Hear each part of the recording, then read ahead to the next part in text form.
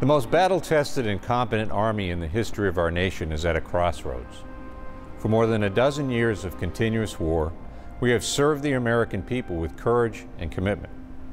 However, the actions of a few in our ranks have caused some to question the honor and integrity of all of us. These crimes and acts of indiscipline undermine the public's trust in our Army. But even worse is that many more in our ranks have tolerated this unprofessional and unethical behavior, choosing to turn a blind eye to it. Every member of the Army profession, regardless of rank or position, must stand strong. We must focus on our Army ethic and our values in all aspects of our lives. Will you live up to the promises you made when you took your oath and when you recite the Army values? Are you dedicated to accomplishing the mission and the welfare of our soldiers? Is this your Army?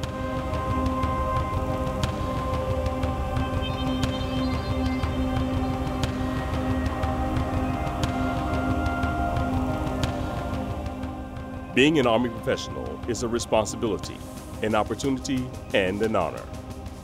We defend the Constitution of the United States and the people it protects. We earn the trust of the American people when we demonstrate our military expertise, our honorable service, our esprit de corps, and our stewardship of the Army profession.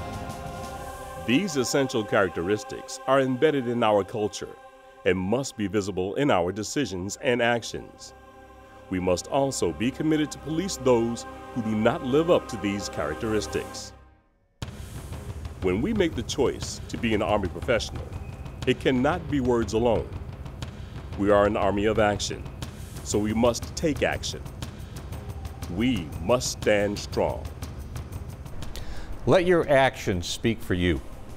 When we stand strong, side by side, supporting, motivating, and challenging each other, we can accomplish anything. We've done this throughout our history, and we must continue to do so. To be worthy of the trust of the American people and to earn and sustain the trust of those on our left and right, we must not only be competent in what we do, we must be men and women of character, living by the Army values, doing what is right, even when no one is looking.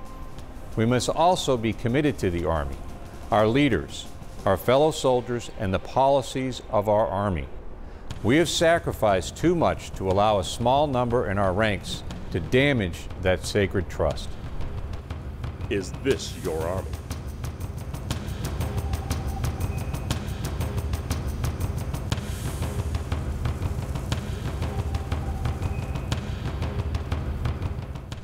Soldiers, our Army and each of us are at a crossroads. You've seen examples of the directions some have taken.